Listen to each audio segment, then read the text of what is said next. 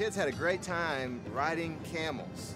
That was quite an experience. But uh, now we're heading over to the Dead Sea and looking forward to floating in the Dead Sea. It's something we've wanted to do our whole life.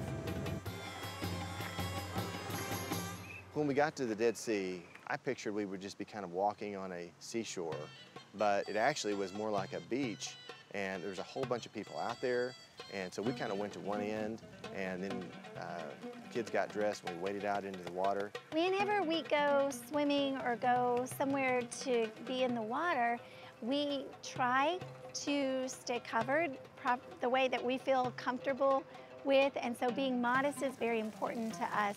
And so we realize that there's going to be others with different, um, you know, preferences in swim clothes. Look at this, guys. You just float. Amazing. I guess I guess the human body is lighter than this water, and you just float on the water.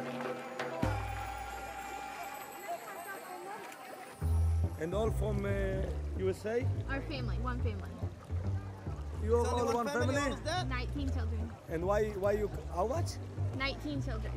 As my girls have gotten older, they've also gotten more beautiful, and they've started attracting a lot of guys that are interested in them. And where do you live in the USA? Arkansas. In Arkansas, in the United States. Like above Texas. Ah, it's south, no? Yes. Yeah.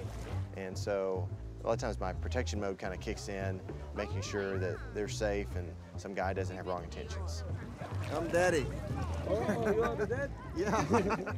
you have a lot of children. Yeah. you remember the all names of your children?